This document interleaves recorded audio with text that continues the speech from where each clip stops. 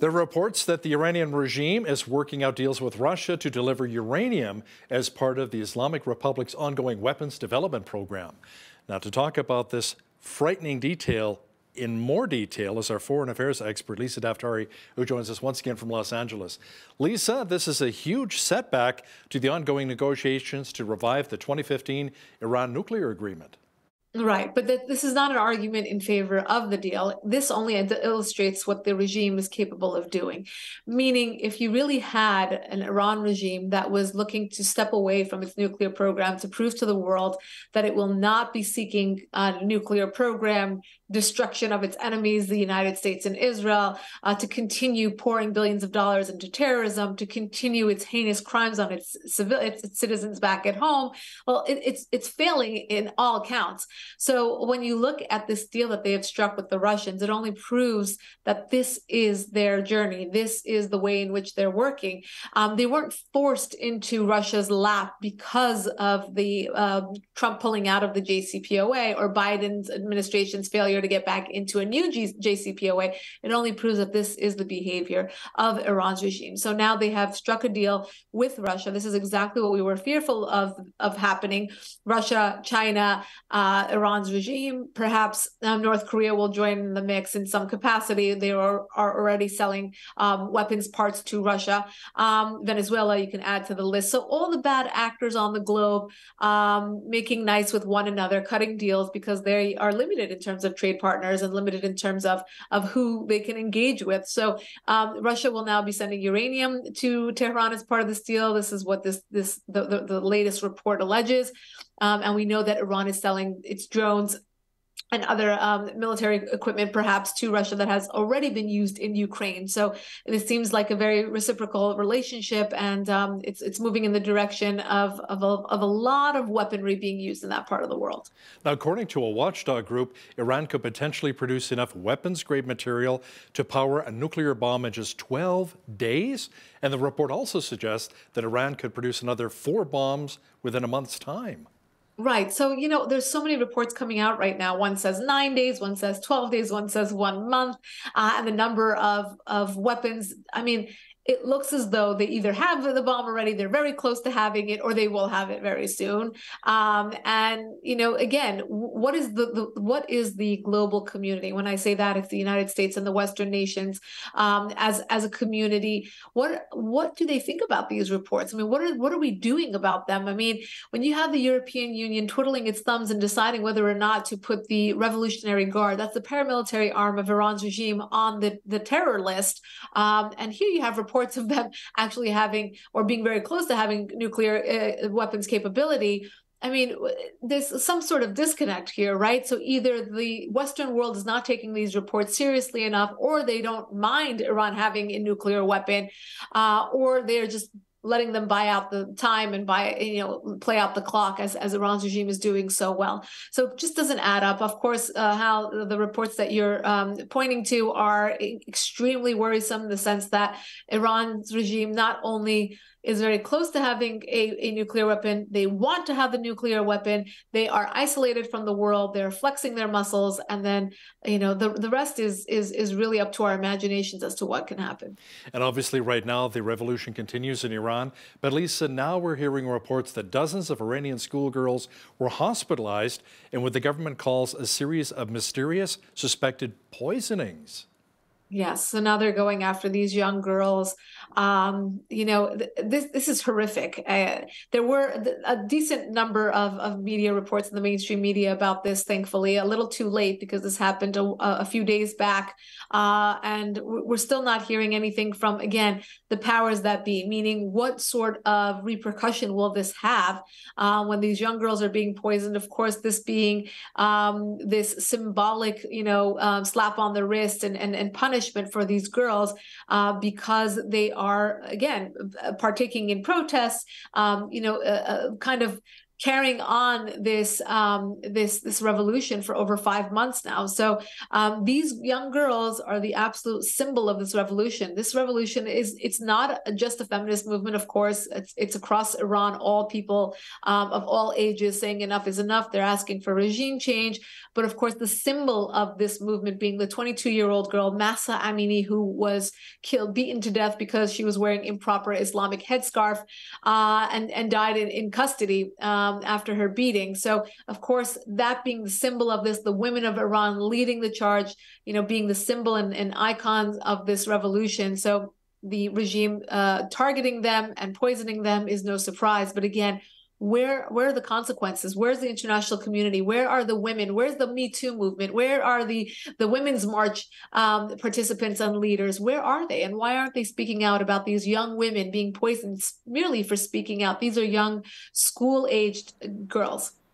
Lisa, according to a report by NGO Monitor, a Palestinian nonprofit group received $78,000 from the U.S. Agency for International Development despite ties to terror groups. That has to be quite concerning. Yes, this is U.S. aid. These are our, our uh, tax dollars at work, right? Imagine American people, and I'm sure uh, Canadians as well, hardworking people, you know, being taxed on what they work for and then giving that money to groups that are supporting terrorism. It happens all the time. I know, um, you know, it, when it does happen, we point it out and say, why aren't we more careful about this? Um, this was a Palestinian NGO. This is a, a, a nonprofit organization. Um, so many of these groups kind of mask themselves as humanitarian groups, but then are obviously very either sympathetic to or funding uh, groups that are involved in terrorism. This is exactly one of those cases. Uh, the Trump administration was very keen on pointing out a lot of the money that was going towards these Palestinian groups and then was being used for the pay to, to slay programs that is giving money to uh, families of suicide bombers and others who are considered martyrs um, in the in the Palestinian world. Um, he stopped a lot of that, but the Biden administration reinstated a lot of that aid. U.S. aid, of course, giving money to a lot of these different organizations, but not doing the vetting that needs to be done. And uh, we hope that these kinds of reports and exposés do shine a light on uh, these groups and um, really underscore the importance of, of vetting them before giving out that money. A former American soldier was sentenced to 45 years in prison last week for planning a jihadist attack on his fellow soldiers in his army unit. Now, Lisa, a release from the Justice Department says 24 year old Ethan Melzer from Kentucky pleaded guilty to trying to murder U.S. service members. Yeah, an inside job. Um, this is it's it's horrific, but you know this goes back to the see something, say something um, kind of age. I think we've we've we've stepped away from that a bit in terms of of being politically correct and not calling anybody out and, and being more quote unquote tolerant. Um, you know, if you you know if if you see something different or you know behavioral changes, you want people to report that and see that. This could have been a horrific uh, incident inside the military. Imagine sending sending your young uh, son, daughter off to fight for the country and then having something like this happen from the inside.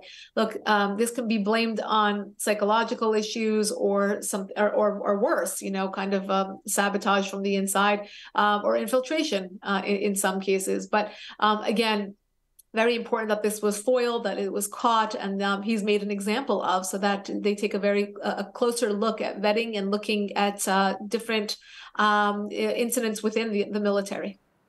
You know, social media can be toxic at the best of times. Well, now a recent report found that a high profile United Nations human rights official's social media account was allegedly full of anti Semitic posts. So let me ask you something. How can the UN remain objective when it comes to dealing with the Israel Palestine conflict when we hear stories like this? Yeah, it, the UN has never been unbiased towards Israel. We know that, right? Because we we see them putting uh, countries like Saudi Arabia and Cuba and Iran's regime at the helm of of women's rights organizations. I mean, talk about opposite day at the UN. That's every day at the UN. And then, um, you know, uh, coming up with these reports and uh, investigations on Israel and their human rights. Uh, and you know, when you look at a country like Israel, the only democratic country in the Middle East uh, that uh, has a gay pride parade every year and uh, more women in um, universities than men. Uh, we've had women prime ministers, women in the parliament, uh, women treated beyond equally um, in, in their government. So um, it, it's crazy to think that every day at the UN, this this truth about a nation like Israel is kind of brushed away. And it, you know all of these so-called human rights abuses that are trumped up charges against israel are brought to the forefront when countries like again saudi arabia and iran's regime and uh, syria and cuba all of the, those countries are not only forgiven but honored and given such a a, a, a platform uh, to come spew their their garbage. So this it's not uh, any surprise that this individual was working for the assistant secretary of, of humanitarian um, group within the UN, and of course, his social media being full of awful, horrific things about Israel and about the Jews. Um, you know, we live in a day and age, this is crazy how when you see so much of this Jew hatred, um, we live in a day and age where no hatred is tolerated. Nothing negative is tolerated. You know, if you talk about someone's weight, it's called fat shaming. If you talk about the way someone looks, I mean, it's sexist. If you you you can't say anything negative about anybody, and we're trying to promote that for our children, for everyone in the workplace, etc. And yet, you see such a, a, professional spewing so much hatred. I mean, regardless of, of which group it is tar- it's targeting, why so much hatred when you're working uh, at, at a place like the United Nations or anywhere else in any professional capacity? You're, we're seeing seeing teachers that are anti-Semitic, professors that are anti-Semitic. We're seeing CEOs, um, and of course now this case at the UN, which was highlighted at the, at the foreign desk. And I and I thank you, Hal, for bringing attention to it. So, I mean, there has to be more attention paid to all forms of hatred, but specifically anti-Semitism, which is on the rise. What our parents used to tell us as well: if you can't say anything nice, don't say anything at all. Lisa, the World Health Organization is urging all countries to reveal what they know about the origins of COVID 19 after claims from the U.S. government agencies that a Chinese lab leak was behind the disease and they were denied by Beijing. It only took three years, Hal. It only took three years to actually ask for transparency. I mean, there was a, report this week we had at the foreign desk where uh, it looks as, as though Anthony Fauci allegedly um, canceled a lot of these reports, a lot of these investigations, and he asked for certain narratives to be written up. Um, we see the same thing from the World Health Organization. We saw the same thing from from from so many different groups, places of work, schools, places of worship um, you know, uh, athletes being denied access to the game because they weren't vaccinated, and then, you know, not being able to question. That is that is what was so horrific about that time. And now so many people being exonerated uh, be, because of that. But so many lives lost senselessly because we weren't able to get to the bottom of this to get to the bottom of what medications may work to get to the bottom of what this vaccine is what what harmful effects it has and really where this that where this virus came from. There are people that are were working in the US government, actual elected officials who were defending China's government over Donald Trump. I mean, when you get to a place where, regardless of your political beliefs, you cannot defend your country, regardless of who is at the helm, you cannot defend your country over an enemy state. In that case, it's an enemy state. They're trying to uh, purposely leak viruses and, and, and, and engage in bio warfare. Um, we have to look at them and, and ask for this transparency and ask for the truth. And so many people did it. Not not only did they not, they helped in covering it up. And I'm talking about social media companies and the government and groups like the World Health Organization, individuals like Anthony Fauci. And that's where we are at today, three years later. Wow. You know, some of the water cooler chat right here at the television station is about the Jesus Revolution, how well the movie's doing right now, the revivals taking place, Asbury, Kentucky, and 22 other post secondary campuses across the United States. But now, Lisa, school advocates across the U.S. are warning about satanic after school clubs that are apparently forming. Many are concerned about the impact the Satanic Temple's efforts will have on our young people and their view of faith. How could school boards even allow this to happen?